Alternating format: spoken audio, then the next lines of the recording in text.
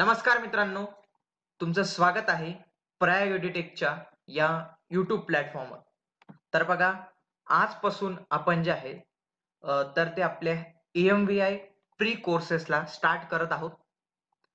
तुम्ही पाहिलं असेल चॅनलवर ऑलरेडी चालू घडामोडी रिझनिंग आणि टेक्निकलचे जे पण काही टॉपिक्स आहेत त्यांच्यावर व्हिडिओ येत आहे जो आपला सामान्य अध्ययनाचा पार्ट आहे त्याला आता आपण कव्हर करत आहोत. आणि त्याच्यातला जे एक महत्त्वाचा भाग आहे पॉलिटी म्हणजेच राज्यशास्त्र जो आपण आत्तापासून कंटिन्यू करणार आहोत आणि त्याच्यावरचे वेगवेगळे व्हिडिओज तुम्हाला आता आपल्या या प्रायग वर बघायला मिळणार आहे. ठीक आहे? तर आजचा आपला टॉपिक आहे राज्यघटनेची निर्मिती. तर सुरू करण्याआधी आपण थोडस सिलेबस जाणून घेऊया. जे विद्यार्थी नवीन असतील जे पहिल्यांदाच हा व्हिडिओ पाहत आहे त्यांच्यासाठी सांगतो. ज्यांना ऑलरेडी माहिती आहे त्यांनी दोन मिनिटं पुढं व्हिडिओ केला तरी चालेल. बघा आपल्या एएमव्हीआयमध्ये तीन सेक्शन्स येतात. एक आहे सामान्य अध्ययन दुसरा आहे बुद्धिमापन चाचणी आणि तिसरा आहे आपला इंजिनिअरिंगचा सेक्शन ठीक आहे? तर सामान्य अध्ययन हे पन्नास मार्क्सला पन्नास प्रश्न येतात. बुद्धिमापनमध्ये तीस मार्कला तीस क्वेश्चन येतात. आणि आपलं रिसेंट ट्रेड म्हणजेच इंजिनिअरिंगचं म्हणजे किंवा टेक्निकल क्वेश्चन वीस क्वेश्चन वीस मार्क्सला आता सामान्य अध्ययन हा फार मोठा टॉपिक आहे. तर याच्यामध्ये हे जवळपास सात टॉपिक येतात. आणि याच्यामध्ये ऑलरेडी आपला चालू घडामोडी जो आहे हा टॉपिक चालू आहे. त्याच्यानंतर जे नागरिक शास्त्र आहे म्हणजेच पॉलिटी प्लस पंचायत राज. तर त्याचं आता आपण जे आहे तर ते व्हिडिओ लेक्चर सिरीज सुरू करणार आहोत. दोन हजार सतरा मधलं हे अनालिसिस आहे. बघा चालू घडामोडींवर आठ प्रश्न आले होते आठ मार्कला म्हणून आपण तो ऑलरेडी सुरू केलेला आहे आपल्या चॅनलवर ते सगळे चालू घडामोडींचे व्हिडिओ तुम्ही बघू शकतात. त्याच्यानंतर नागरिक शास्त्र आता जे आपलं पॉलिटी चालू होणार आहे ते आपण कव्हर करणार आहोत. म्हणजे तुमचे आठ आणि आठ दुने सोळा हे मार्क्स आपण लवकरच सिक्युअर करणार आहोत. आणि बाकीचे जे व्हिडिओ आहेत ते तर येतच राहणार आहे. आपण एक एक करून थोडे थोडे जे विषय आहेत ते कंप्लीट करूया. चॅनलवर ऑलरेडी जे आहे सामान्य अध्ययन हे सुरू केलेलं आहे आपण. चालू घडामुळे आपले दोन फॅकल्टीज घेत आहेत. त्याच्यामध्ये एक मॅम आहे एक सर आहे ते घेतात. रिझनिंगचे एक सर आहेत ते सुरू करणार आहेत. आणि टेक्निकलच्या ज्या मॅम्स आहेत त्या सुद्धा लवकरच लेक्चर घेऊन येणार आहेत. आणि मी तुमच्यासोबत जे आहे तर जो हा सामान्य अध्ययनाचा पार्ट आहे तो घेऊन येणार आहे. ठीक आहे? तर आपल्या लेक्चरला आता आपण सुरुवात करूया. तर बघा व्हिडिओ सुरू करण्याआधी लेक्चरला सुरू करण्याआधी दोन हजार सतराच्या प्रीच्या एक्झामचा क्वेश्चन आहे. आज जो आपण टॉपिक घेणार आहोत त्याच्यावरच आधारित एक क्वेश्चन आला होता मागच्या वेळी. तर तो क्वेश्चन मी रीड करतो आणि याचा आन्सर तुम्हाला कमेंट बॉक्समध्ये द्यायचं आहे आणि याचा आन्सर तुम्हाला कुठून भेटणार आहे? तर या संपूर्ण लेक्चर मधून. ठीक आहे? हे चार वेगवेगळी विधानं तुम्हाला चार वेगवेगळ्या सेक्शनमध्ये बघायला भेटणार आहे. म्हणून जे विद्यार्थी अत्यंत केअरफुलीने हा व्हिडिओ बघत राहतील त्यांनाच त्याचा आन्सर देता येणार आहे. अदरवाईज याचा आन्सर एवढं पण सिंपल नाही आहे. ठीक आहे? म्हणून व्हिडिओ व्यवस्थित पहा आणि याचा आन्सर देण्याचा प्रयत्न करा. आणि खरंच जे विद्यार्थी सिरियस आहेत या पोस्ट विषयी या एक्झाम विषयी. त्यांनीच व्हिडिओ बघा. जे अजूनही याच्यात आहे की ऍड येईल का नाही येईल मागणी पत्र आलं की नाही आलं त्यांनी खरंच अजून अभ्यासाला तयारी करू नका. पण ज्यांना खरंच यावर्षी पोस्ट काढायची आहे त्यांनी व्यवस्थितपणे हे व्हिडिओ बघा. खूप मेहनतीने आम्ही हे व्हिडिओ बनवतो. म्हणूनच जर तुम्हाला आवडत असतील तर जास्तीत जास्त लाईक करा. तर आज जेवढे लाईक्स येतील व्ह्यूज आणि लाईक जेवढे येतील त्याच्यानंतरच ही सिरीज कंटिन्यू ठेवण्यात आम्हाला सुद्धा आनंद होईल. ठीक आहे? मी क्वेश्चन रीड करतो. भारताच्या संविधान सभेबाबत खालीलपैकी कोणते विधान चुकीचे आहे? चुकीचं विधान आपल्याला ओळखायचं आहे. कॉन्स्टिट्यूशन असेंब्ली बद्दल. पहिलं संविधान सभा ही अंशता निर्वाचित आणि अंशता नामनिर्देशित होती. म्हणजे partial elected and partially nominated दुसरं संविधान सभा ही प्रांतांच्या विधानसभा सदस्यांकडून अप्रत्यक्षरित्या निवडलेली होती. ठीक आहे? पुढचं पाहूया. निवडणुकीची पद्धत ही कॅबिनेट मिशन योजनेने आखून दिलेली होती. आणि चार जागांची विभागणी ही माउंट बॅटन योजनेनुसार करण्यात आली होती. ठीक आहे? ज्या विद्यार्थ्यांना मराठीमध्ये प्रॉब्लेम होत असेल म्हणजे जे जास्त इंग्रजी मीडियमचे असतील तर त्यांच्यासाठी हा इंग्रजी मधला क्वेश्चन आहे. ते व्हिडिओ पॉज करून रीड करू शकतात. आणि लेक्चरमध्ये सुद्धा आपण मराठी शब्दांना इंग्रजी वर्ड्स काय आहेत तर ते सुद्धा आपण डिस्कस करणार आहोत. ठीक आहे? तर सुरू करूया आजच्या लेक्चरला तर व्यवस्थितपणे हे लेक्चर ऐका. एक एक शब्द एक एक कन्सेप्ट आज आपण समजून घेणार आहोत. ठीक आहे? पहिले आपल्याला आता थोडस इतिहासात जावं लागेल. संविधान सभा तयार होण्यापूर्वी आपल्याला त्याची थोडीशी पार्श्वभूमी जाणून घेणार घ्यावी लागेल. कारण की जर आपल्याला मागच्या गोष्टी माहीत राहिल्या जसं तुम्ही कुठलीही वेब सिरीज पाहतात तर तुम्ही लगेच आठवा सीझन नववा सीझन असं नाही पाहत. तुम्ही काय करतात पहिल्या सीझनपासून ते वेब सिरीज पाहतात का? कारण की तुम्हाला त्याचं बॅकग्राऊंड माहिती असणं आवश्यक आहे. ठीक आहे? त्याच पद्धतीने तुम्ही जर संविधान अभ्यासत असाल आणि तुम्ही एकदम मोठा हायर टॉपिक सुरू करून दिला राष्ट्रपतींसारखा तर तुम्ही थोडं गोंधळून जाणार. तर हा एक बेसिक टॉपिक आहे. आता आपण थोडस हिस्ट्रीमध्ये जाऊन थोडीशी माहिती काढूया की आपलं संविधान कसं नेमकं तयार झालं. त्यासाठी काय काय आपल्याला प्रयत्न करावे लागले. आणि मग त्याच्यानंतर आपल्याला संविधानामधल्या असलेल्या तरतुदी ज्या आहेत ते अभ्यासायच्या आहेत. तर सर्वात प्रथम एकोणावीसशे चौतीसमध्ये आता आपण जाऊया.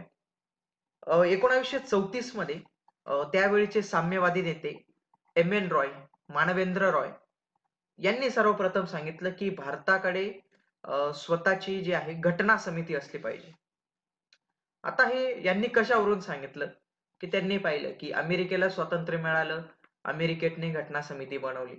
फ्रान्समध्ये घटना समिती होती. मग त्यांनाही वाटलं की आपल्याला ब्रिटिशांकडून स्वातंत्र्य मिळणार आहे मिळणारच होतं. त्याच्यासाठी जर आपण प्रयत्नच करत आहोत. पण स्वातंत्र्य मिळाल्यानंतर काय करायचं?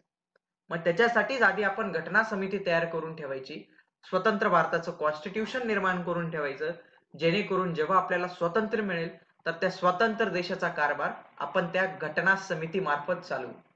ही सर्वप्रथम कल्पना कोणी मांडली? तर एम एन रॉय यांनी. मग त्याच्यानंतर काँग्रेसने म्हणजे त्यावेळीचं काँग्रेस आत्ताचं काँग्रेस नाही. त्यावेळीच्या काँग्रेसने मागणी केली एकोणीसशे चौतीसमध्ये की आम्हाला जी आहे तर ती घटना समिती पाहिजे आहे. ठीक आहे? त्याच्यानंतर आले आपले नेहरू पंडित जवाहरलाल नेहरू. एकोणावीसशे अडतीसमध्ये काँग्रेसचं अधिवेशन भरलं होतं हरिपुरा येथे. सुभाषचंद्र बोस हे अध्यक्ष होते. त्यावेळी पंडित जवाहरलाल नेहरूने काँग्रेसच्या वतीने. म्हणजे काँग्रेसमध्ये आज तुम्ही फक्त एक पक्ष धरता. त्यावेळी तो पक्ष नव्हता तर तो संपूर्ण समुदायांचं प्रतिनिधित्व करणारी संघटना होती. मग त्यावेळी एकोणावीसशे अडतीसमध्ये पंडित जवाहरलाल नेहरूंनी यांनी असं सांगितलं की आम्हाला एक घटना समिती पाहिजे आहे. ती घटना समिती कशी पाहिजे आहे? एकतर सार्वभौम पाहिजे आहे. ठीक आहे? म्हणजे आम्हीच तयार केलेली पाहिजे आहे. आणि कुठलाही एक्सटर्नल इंटरफेरन्स नको आहे आम्हाला. कुठलाही बाह्य हस्तक्षेप नको आहे. आता हे का म्हणाले नेहरू? कारण की त्यावेळी इंग्रज ज्या ज्या देशांना स्वातंत्र्य द्यायचे जसं ऑस्ट्रेलिया दिलं बाकीच्यांना दिलं तर ते घटना समिती बनवताना त्यांचेच लोक नेमायचे तेच तयार करून द्यायचे तेच इंटरफेअर करायचे. म्हणून पंडित जवाहरलाल नेहरू यांचं असं म्हणणं होतं की आम्हाला जी संविधान सभा द्याल जी घटना समिती द्याल आता बघा हे दोनच एकच शब्द आहेत बरं का. घटना समिती संविधान समिती संविधान सभा घटना सभा कॉन्स्टिट्युशनल असेंब्ली हे एकच शब्द आहेत. ठीक आहे? नाही तर तुम्ही गोंधळून जाणार की एका सर संविधान सभा म्हणतायत आणि घटना समिती म्हणतायत. एकच शब्द आहे. एक अडतीसमध्ये जाऊया पुन्हा आपण. तर पंडित जवाहरलाल नेहरूने ही मागणी केली काँग्रेसच्या वतीने की आम्हाला जे आहे तर आमची स्वतःची घटना समिती निर्माण करायची आहे. मग त्याच्यानंतर आले एकोणावीसशे चाळीसमध्ये लॉर्ड लिन लिथगो. क्वेश्चन येतो. खूप साऱ्या एक्झाममध्ये क्वेश्चन आलेला आहे की लॉर्ड लिन लिथगोवर. तर काय झालं? आपल्याला माहिती आहे एकोणीसशे चाळीसचा काळ कोणता होता? वर्ल्ड वॉर टू चा. इंग्लंड सुद्धा उतरलेलं होतं जर्मनी विरुद्ध. आता काय होणार होतं? भारताची जी फौज होती ती कुठं ट्रान्सफर केलेली होती यांनी? वर्ल्ड वॉर टू साठी. ठीक आहे? मग भारतात हे फौजच नव्हती. यांना वाटलं की भारतीयांनी अशा वेळी जर विद्रोह केला त्यांनी जर जास्त आंदोलन केले तर यांना कंट्रोल कसं करायचं? मग लॉर्ड लिन लिथगो यांनी गेले काँग्रेसकडे आणि काँग्रेसला त्यांनी ऑफर दिली. ही ऑफर होती ऑगस्टमध्ये दिली. म्हणून तिला म्हणतात ऑगस्ट संधी किंवा त्याला एक छानसं नाव आहे ऑगस्ट ऑफर ऑगस्टला त्यांनी ऑफर केलं की आम्ही तुम्हाला डॉमिनियन स्टेटस देतो. डॉमिनियन स्टेटस म्हणजे पूर्ण स्वराज्य नव्हे. तर म्हणजे काय? की आमचंच केंद्र सरकार असेल राज्यात तुमचं सरकार असेल. राज्यात जे आहे तुम्हाला जसं करायचं आहे तुम्ही तसं करायचं. एकोणीसशे चाळीसमध्ये दिलं. मग त्यावेळी काँग्रेसने समजलं की ठीक आहे थोडंसं काय ना स्वातंत्र्य मिळत आहे तर घेऊन टाकू. त्यांनी हो म्हणून दिलं. त्याच्यानंतर दुसरं महायुद्ध संपलं पण ब्रिटिश त्यांची मागणी पूर्ण करायलाच तयार नव्हते. ते यायचेच नाही. मग महात्मा गांधीजींनी सांगितलं तुम्ही तर आम्हाला सांगितलं होतं की घटना समिती तयार करून देणार आहेत. कुठे गेले तुम्ही? मग त्यावेळी ब्रिटिश मंत्रिमंडळाची कॅबिनेटची एक बैठक भरली. त्या बैठकीमध्ये त्यांनी एक ड्राफ्ट तयार केला. ड्राफ्ट म्हणजे काय? एक मसुदा असतो. ठीक आहे? अजून सुद्धा कोणतंही बिल लोकसभेमध्ये येण्याआधी त्याचा ड्राफ्ट तयार करतात. मग त्याचं कायद्यात रूपांतर होतं. मग हे ड्राफ्ट तयार झालं. एकोणावीसशे बेचाळीसमध्ये सर स्टॅम्फोर्ड ट्रिप्स म्हणून याला क्रिप्स मिशन असंही म्हणतात. म्हणजे ते आले त्यांच्याकडे मिशन होतं काय? की हे काँग्रेसला दाखवायचं हा मसुदा आणि त्यांच्याकडनं मंजूर करून घ्यायचं. एकोणावीसशे बेचाळीसमध्ये सर स्टॅम्फोर्ड क्रिप्स भारतात आले. ही एक फोटो आहे तुम्ही पहा. गांधीजी आणि क्रिप्स हे भेटत आहेत. ते गेले यांच्याकडे गांधीजींकडे म्हणजेच काँग्रेसकडे गेले सांगितलं की हा आमचा मसुदा आहे आणि आम्ही तयार करत आहोत. परंतु काय झालं की मुस्लिम लीग जेव्हा भेटायला गेले हे जेव्हा मोहम्मद जिन्नाला भेटायला गेले हे क्रिप्स मोहम्मद जिन्नांनी सांगितलं की भारतात दोन घटना समिती असतील. एक आमच्या स्वतंत्र राष्ट्रासाठी म्हणजे पाकिस्तानासाठी वेगळी आणि भारतासाठी वेगळी. तेव्हा क्रिप्स यांनी सांगितलं की नाही नाही. होईल तर एकच होईल नाही तर नाही होणार. आणि काँग्रेसने पण सांगितलं की देशाचा वाटणी आम्ही पडू देणार नाही. आम्हाला हे मान्य नाही. मुस्लिम लीगची जी मागणी आहे मान्य नाही. मग मुस्लिम लीगने क्रिप्स मिशन नाकारले. मग क्रिप्स मिशन फेल फेल गेले. मग कधी कधी विचारतात की क्रिप्स मिशन का फेल गेले? तर याचं आन्सर होतं की मुस्लिम लीगने दोन स्वतंत्र घटना समितीची मागणी केली होती. ती क्रिप्स मिशनने मान्य केली नाही. म्हणून क्रिप्स मिशन फेल गेले. मग जेव्हा हे मिशन फेल गेलं तेव्हा इंग्रजांनी तर विषय सोडून दिला की घटना समिती आता बनवायचीच नाही बा आता जाऊ द्या. मग त्यावेळी परत आंदोलनं केली काँग्रेसने. मग सांगितलं की आम्हाला घटना समिती पाहिजे आहे घटना समिती पाहिजे आहे.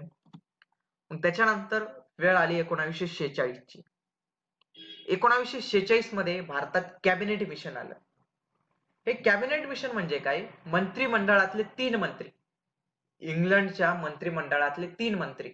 भारतात आले. क्वेश्चन येऊ शकतो एक्झाममध्ये की कॅबिनेट मिशनमध्ये खालीलपैकी कोणकोणत्या व्यक्तींचा समावेश होता? तर लक्षात ठेवा याद आहेत Lord Pethick Lawrence Sir Stafford Cripps A V Alexander. हा फोटो पण आहे त्यांचा तुम्ही पाहू शकता. तुम्ही आजच्या व्हिडिओमध्ये आपण एक स्टोरी नुसार घेत आहोत. नुसतं थिअरी वगैरे नाही पुस्तकात जे ना ती स्टोरी एक्सप्लेन नाही होत आपल्याला. तर मी तुम्हाला एक स्टोरी सांगतोय आणि जास्तीत जास्त फोटोग्राफ्स दाखवतोय. जेणेकरून तुमच्या मेमरीमध्ये जास्तीत जास्त गोष्टी लक्षात राहिल्या पाहिजेत ठीक आहे? तर विषयावर येऊया. एकोणीसशे शेहेचाळीसमध्ये कॅबिनेट मिशन आलं. याच्यामध्ये हे तीन वेगवेगळे व्यक्ती होते. हे आधीचे जे क्रिप्स होते ते पण याच्यात होते ठीक आहे? ते आले काँग्रेसला भेटले. हे बघा संविधान सभा तयार करायचे. मुस्लिम लीगला भेटले. हे बघा आम्हाला संविधान सभा तयार करायचे. मुस्लिम लीगमध्ये नाही नाही. आम्हाला तर आमचा वेगळी संविधान सभा पाहिजेच आहे. मग यांनी जे आहे मधला रस्ता निवडला. एक चांगली जी आहे एक रचना केली संविधान सभेची. आणि सांगितलंय बघा ही संविधान सभेची रचना आहे. तुम्हाला ही मान्य आहे का? मग ठीक आहे मुस्लिम लीगने मान्य होईल अशी जी आहे तर ती मागणी व्यवस्थित त्यांची मान्य झाली. मुस्लिम लीगची मागणी जी आहे तर ती मान्य झाली. दोन संविधान सभा नाही परंतु त्यांनी जागांची वाटप अशी केली की व्यवस्थितपणे मुस्लिम लीगला पण ते आवडले की ठीक आहे तुमचं स्ट्रक्चर आम्हाला आवडलेलं आहे. आम्ही आता संविधान सभा तयार करत आहोत एकच पूर्ण भारताची लक्षात ठेवा. मग कॅबिनेट मिशननुसार जे आहे जागांचे वाटप करण्यात आलं. म्हणजे संविधान सभेच्या जागेंचं वाटप कोणी केलं तर कॅबिनेट मिशनने केलं. लक्षात ठेवा. तुम्हाला याच्यावरून काही आठवत असेल तर आठवण्याचा प्रयत्न करा. ज्यांना आठवत असेल समजून घ्या की त्यांचं खरंच लक्ष आहे. ज्यांना आठवत नाही ते कुठे विचारत असतील त्यांनी पुन्हा लेक्चरकडे या. तर बघा कॅबिनेट मिशननुसार जे आहे तर ती जागेंची वाटप झाली. आता आपण रचना पाहूया की संविधान सभेची रचना कशा पद्धतीची होती. ठीक आहे? तर संविधान सभेमध्ये एकूण थ्री एटी नाईन सदस्य होते. तीनशे एकोणनव्वद सदस्य असणार होते. त्याच्यापैकी दोनशे ब्याण्णव हे ब्रिटिश भारतातले. चार चीफ कमिशनर प्रोव्हिन्सेस कडून आणि बाकीचे त्र्याण्णव हे संस्थानिकांचे. आता हे चार चीफ कमिशनर प्रांत कोणते ते पाहूया कारण की एक्झाममध्ये अशा पद्धतीचा क्वेश्चन येऊ शकतो. तर हे चार चीफ हाय कमिशनरचे प्रांत होते दिल्ली अजमेर मारवाड. अजमेर मारवाड हा एकच होता. कुर्ग आणि ब्रिटिश बलुचिस्तान बलुचिस्तान आज जो पाकिस्तानचा भाग आहे इराण साईडकडे त्यांची जी बॉर्डर लागते तो बलुचिस्तानचा भाग. ठीक आहे? असे चार प्रोव्हिन्सेस तुमच्यापैकी बरेच जण कन्फ्युज होऊन गेले असणार की हे ब्रिटिश भारत काय आहे? हे संस्थानिक काय आहेत? हे चीफ कमिशनर प्रांत काय आहेत? तर बघा त्यांच्यासाठीच आता आपण थोडस मी तुम्हाला मॅप दाखवतो. मॅप मधून तुम्हाला क्लिअर होईल. की त्यावेळीचा भारत कसा होता? आज तुम्हाला एकदम सिंपल वाटतं इंग्रज सोडून गेले आणि भारताला स्वातंत्र्य मिळालं. ही प्रोसेस इतकीही सिंपल नव्हती. ठीक आहे? आता बघा हा एक मॅप आहे. हा त्यावेळीचा मॅप आहे. आपण जर व्यवस्थित जर बघितलं बघा हे जे रेड कलरमध्ये तुम्हाला दिसत आहेत हे काय ब्रिटिश प्रोव्हिन्सेस आणि हे येलो कलरमध्ये जे दिसत आहेत त्यांना म्हणायचं प्रिन्सिपली स्टेट्स किंवा त्यांना आपण मराठीत म्हणतो संस्थानिके. ठीक आहे? राजे रजवाड्यांचं राज्य. हे जे रेड कलरचा इलाका आहे या मॅप मधला याच्यामध्ये प्रत्यक्ष इंग्रजांचं प्रशासन होतं. म्हणजे आय एस अधिकारी आय पी एस अधिकारी ते डीवाय एस पी खालच्या लेवलचे अधिकारी सगळे ब्रिटिश लोक होते.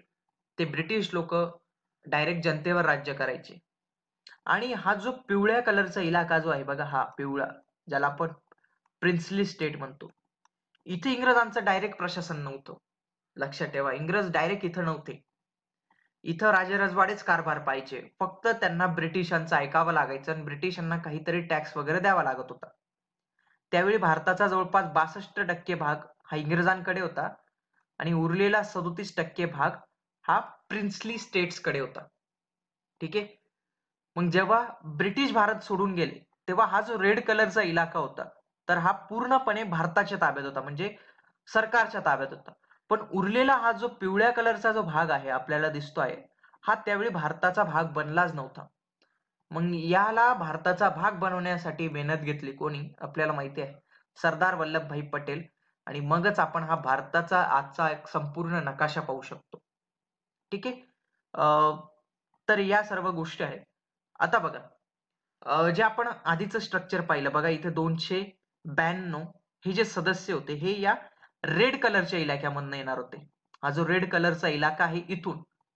आणि जे त्र्याण्णव सदस्य येणार होते ते या पिवळ्या कलरच्या जो मॅप दिसतोय हा वेगवेगळ्या ठिकाणी. जसं तुम्ही जर इथं पाहणार एक मिनिट तुम्ही जर इथं पाहणार तर हा कोणता भाग आहे? हा हैदराबादचा भाग आहे. ठीक आहे? हा जो आहे आपला काश्मीरचा भाग आहे. हा जो आहे आपला अरुणाचलचा भाग आहे. ठीक आहे?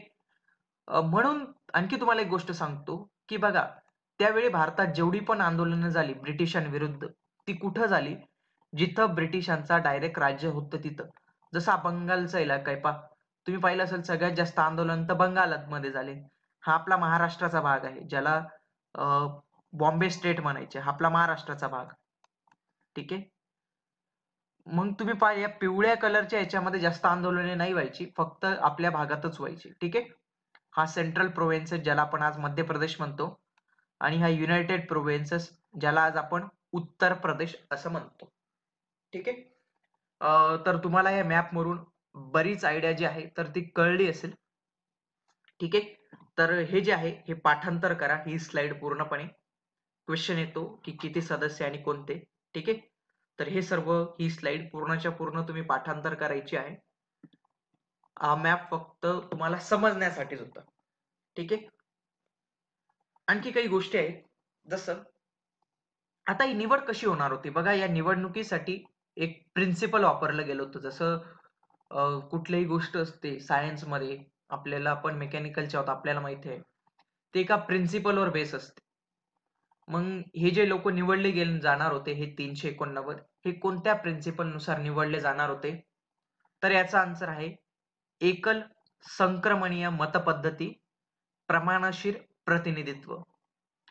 तुम्ही म्हणणार इतके अवघड अवघड शब्द तुमच्यापैकी बरेच जण हा व्हिडिओ कट करून सोडून देतील. बघा. इंग्लिशमध्ये सांगतो थोडं तुम्हाला.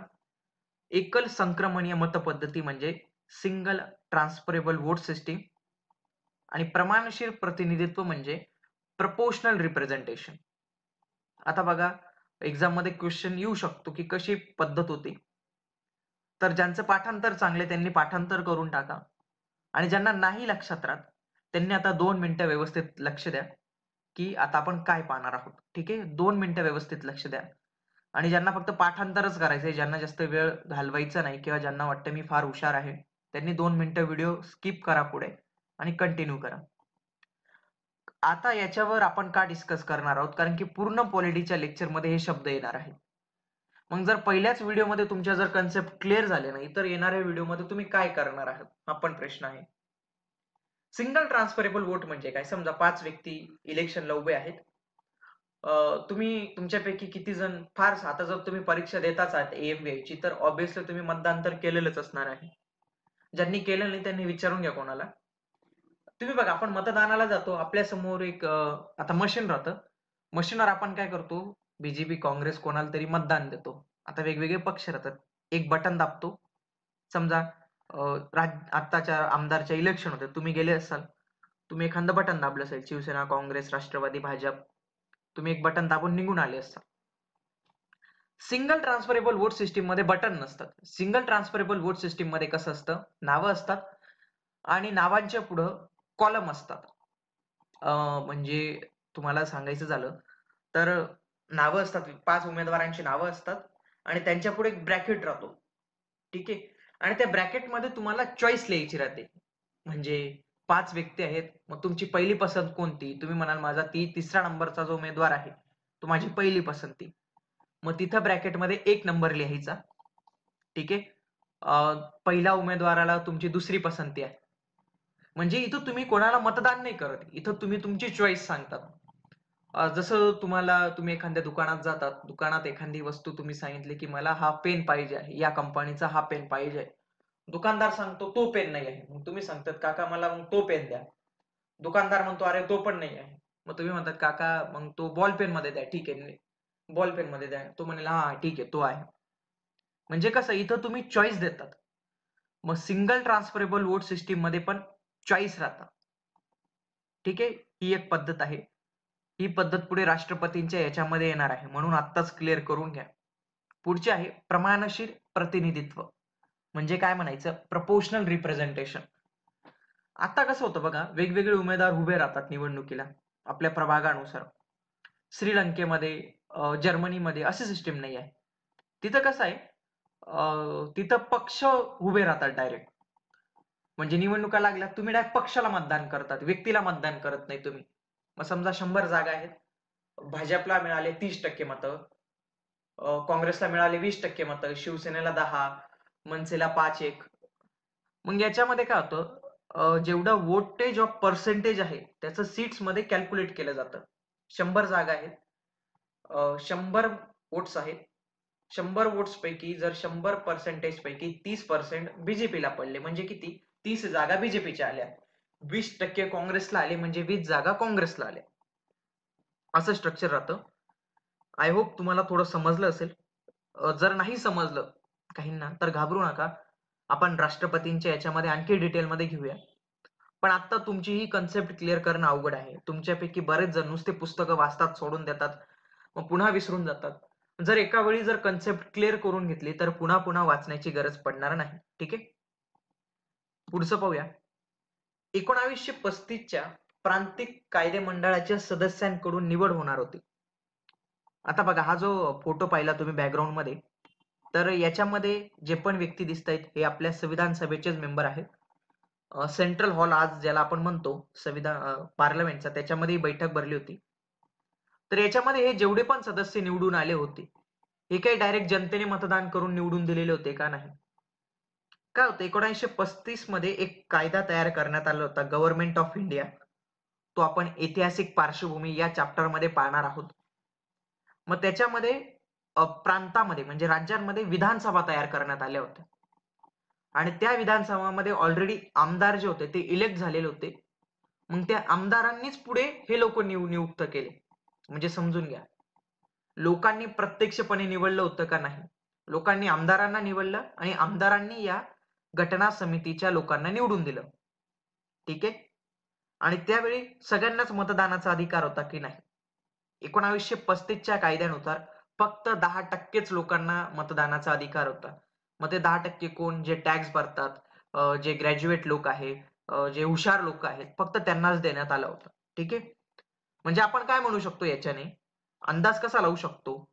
की संविधान सभेमध्ये निवडून आलेले व्यक्ती हे अप्रत्यक्षरित्या जनतेने निवडून दिले होते. These peoples are indirectly elected not directly elected ठीक आहे? एक्झाममध्ये क्वेश्चन येतो विधानं येतात की संविधान सभेचे मेंबर हे अप्रत्यक्षपणे निवडलेले होते. तुम्ही पुस्तकात पाहतात पुस्तकात तर तसं काहीच लिहिलेलं नव्हतं. बघा आपल्याकडे थोडस अनालिटिकल स्किल असणं आवश्यक आहे. आपल्याला थोडासा अंदाज लावता आला पाहिजे. की या लोकांनी आमदारांना निवडून दिलं आणि आमदारांनी यांना निवडून दिलं. म्हणजे काय? ही अप्रत्यक्षच झाली. ठीक आहे? पुढचं पाहूया. आता आपण हे तीनशे एकोणनव्वद पाहिले. हे तीनशे एकोणनव्वद कसं डिसाईड करण्यात आलं होतं? की दहा लोकसंख्ये मागे एक सदस्य असेल. दहा लोकसंख्ये मागे एक सदस्य असणार आहे. ठीक आहे? पुढचं आहे. ज्या ब्रिटिश प्रांतातील जागा असतील आपण जे आहेत जे मागे मॅप पाहिला तो आपला जो मॅप पाहिला त्याच्यामधील जो रेड कलरचा इलाका होता त्याच्यातील ज्या जागा आहेत त्या तीन भागांमध्ये विभागल्या होत्या. एक आहे मुस्लिमांसाठी वेगळी शीख धर्मियांसाठी वेगळी आणि जनरल कॅटेगरी जशी आज आपली ओपनची राहते तशी ओपन वाली कॅटेगरी याच्यानुसार जागांचं वाटप केलेलं होतं की काही जे मतदारसंघ आहेत ते मुस्लिमांसाठी राखीव काही जे मतदारसंघ आहेत ते शीख लोकांसाठी राखीव आणि उरलेले बाकीचे सगळे ओपन कॅटेगरीचे तिथं कोणी उभं राहू शकतं. ठीक आहे? त्याच्यानंतर संस्थानिकांचे जे प्रतिनिधी होते ते संस्थानिकांनी नामनिर्देशित करायचे होते. ते नॉमिनेटेड करायचे होते. बघा वरती आपण जे पाहिलं निवड प्रक्रिया ती कशासाठी होती? इलेक्टेड मेंबरसाठी जे मेंबर निवडून आले होते. पण तुम्ही पाहिलं होतं ते पिवळ्या कलरच्या भागामध्ये. तर त्याच्यामध्ये जे राजे रजवाड्याचे जे हैदराबादचे होते ते डायरेक्ट तिथं निवडणुका वगैरे काही नाही. ते डायरेक्ट हैदराबादचे राजे सांगतील की हा आमचा व्यक्ती आहे. हा घ्या तुम्ही. म्हणजे ते काय होणार होते? नॉमिनेटेड होणार होते. म्हणजे याच्यावरून तुम्ही काय अंदाज लावू शकतात? की घटना समितीमध्ये काही जे लोक होते ते निवडून आलेले होते आणि काही जे लोक होते ते नॉमिनेटेड होते. पार्शली इलेक्टेड आणि पार्शली नॉमिनेटेड पर्सनची सभा होती ही संविधान सभा. हे स्ट्रक्चर होतं. हे समजून घ्या याच्यावर फार वेळा क्वेश्चन आलेला आहे. ठीक आहे? तुम्हाला समजलं असेल की पॉलिटीमध्ये फार साऱ्या कन्सेप्ट आहेत. एवढंही सोपं नाही पोस्ट काढणं. मग यावेळी तुम्ही जास्तीत जास्त अभ्यास करा हे लेक्चर पहिल्यांदा समजलं नसेल तर दुसऱ्यांदा परत पहा. कारण की आपल्याला यावेळी काही करून ही पोस्ट काढायची आहे. ठीक आहे? तर बघा ऍक्च्युअली मध्ये हा पूर्ण पार्ट एकाच व्हिडिओमध्ये रेकॉर्ड केलेला होता. परंतु तो फार मोठा आला. जवळपास पन्नास बावन्न मिनिटांचा आला. एवढं एका वेळी बघणं शक्य नाही होत विद्यार्थ्यांना. म्हणून हा दोन पार्टमध्ये डिवाइड केलेला आहे हा घटक. आजच्या पार्टमध्ये एवढी माहिती पाहिली. आणि उरलेली माहिती जी आहे उर्वरित पार्टमध्ये आपण पाहणार आहोत. ठीक आहे? तर तुम्हाला आमची ही सिरीज कशी वाटते हे कमेंट बॉक्समध्ये जास्तीत जास्त लोकांनी कळवा. जे व्हिडिओ पाहतात त्यांनी निदान कमेंटमध्ये काहीतरी लिहा. म्हणजे जेणेकरून आम्हाला समजेल की मुलं खरंच पाहतायत आणि त्यांचा त्यांना फायदा देखील होतो आहे. जर व्हिडिओ आवडला तर लाईक करा. आणि नाही आवडला असेल तर डिसलाईक तरी करा. म्हणजे ते तरी समजतं की व्हिडिओ नाही आवडत आहे. कुठेतरी आम्ही चुकत आहोत. ठीक आहे? आणि कमेंट बॉक्समध्ये जास्तीत जास्त विद्यार्थ्यांनी कमेंट करा की ही सिरीज कंटिन्यू ठेवायची आहे का नाही. मग आजचा हा तुमचा रिस्पॉन्स घेऊनच पुढचा जो आहे पार्ट अपलोड करण्यात येईल. ठीक आहे? भेटूया पुढच्या व्हिडिओमध्ये तोपर्यंत जय हिंद जय महाराष्ट्र. धन्यवाद.